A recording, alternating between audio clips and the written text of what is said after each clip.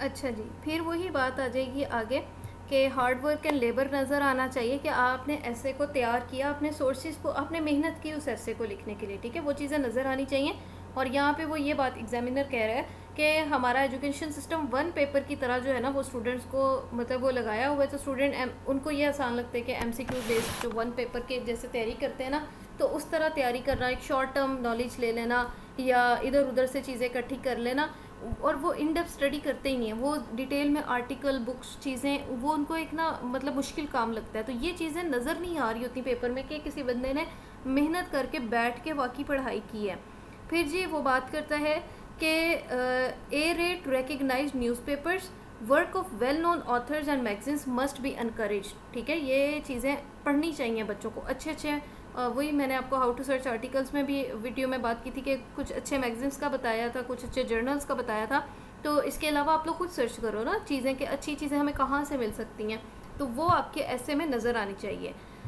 ठीक है, फिर आगे, आ जाए एग्जामिनर्स रिपोर्ट 2018 में। वही बात reliance on cram knowledge dull monotony and repetition of stereotypical information was observe ठीक है मोनोटनी एक ही बात ऐसे में कोई ट्विस्ट है ही नहीं, जहाँ से बात शुरू की थी, वहीं पे लाके ख़त्म मतलब करनी तो वहीं पे ख़त्म है, लेकिन दरमियान में भी एक ही बात मतलब दो चार जुमले आ रहे हैं, और ये शुरू में होता है। जो फ़र्स्ट अटैम्प्ट होती है ना आपकी, और आपके पास इतना नॉलेज नहीं होता, आपने अपने अभी कंपलसरी सब्जेक्ट को भी नहीं हाथ लगाया होता, और बिल्कुल शुरू में आप ऐसे लेके बैठ जाते हो, इसलिए मैं रिकमेंड करूँगी कि एक दफ़ा बंदा अपने ना ऑप्शनल्स और कंपलसरी सब्जेक्ट से निकल जाए, कर ले उनको, एक दफ़ा कवर कर ले।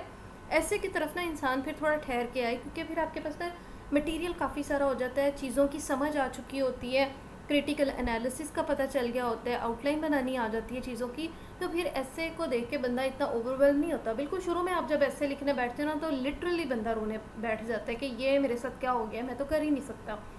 फिर जी a significant number of candidates did not have a clear sense of essentials of a comprehensive essay और the features which differentiate an essay from other forms of writing ठीक है, यहाँ पे अब हम आगे चल के करेंगे इसकी बात कि एक ऐसे को हम कैसे डिफरेंट कर सकते हैं अदर फॉर्म्स ऑफ़ राइटिंग से ना? क्योंकि ऐसे कोई आर्टिकल नहीं है। आप कोई ऐसा आर्टिकल नहीं लिख रहे जिसमें आपने फॉर एग्जांपल अगर एनर्जी क्राइसिस है तो एक है पाक अफेयर्स का या करंट अफेयर्स का एनर्जी क्राइसिस और एक आ गया एनर्जी क्राइसिस के ऊपर कोई ऐसे आ गया। तो डेफिनेटली दोनों का अंदाज डिफरेंट होगा। ठीक है, अब आगे आज अगली रिपोर्ट पे 2017 में भी ऑब्ज़र्व किया गया था कि most worrying aspect of essays was the wrong use of English language ठीक है?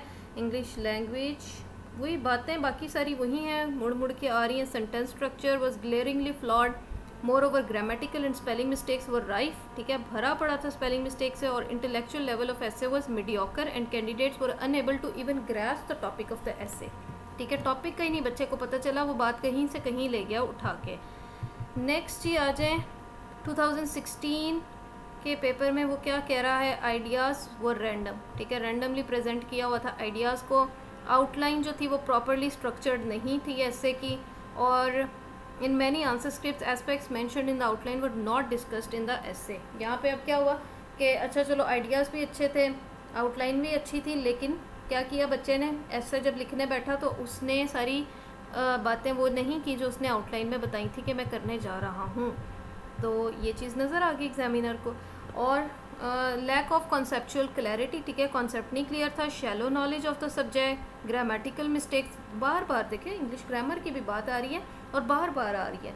And inappropriate choice of vocabulary and stereo answers अब स्टीरियो टाइप आंसर्स क्या होते हैं? वोकेबलरी की तो बात समझ आ गई ना। कि कहीं की इंट कहीं का रोड़ा उठा के कहीं भी लगा दिया ठीक है? भानुमती ने कुंभा जोड़ दिया कि ऐसे बन जाएगा ऐसे ऐसे नहीं होता ठीक है? और जो स्टेरोटिपिकल आंसर हैं वो क्या होते हैं? वही बात कि the government should do this the government didn't do this this government was not efficient enough और यही बातें हमने घुमा फिर आके आप कर रहे हो और आपके पास टेक्निकल नो हाउ नहीं है आप उस प्रॉब्लम की।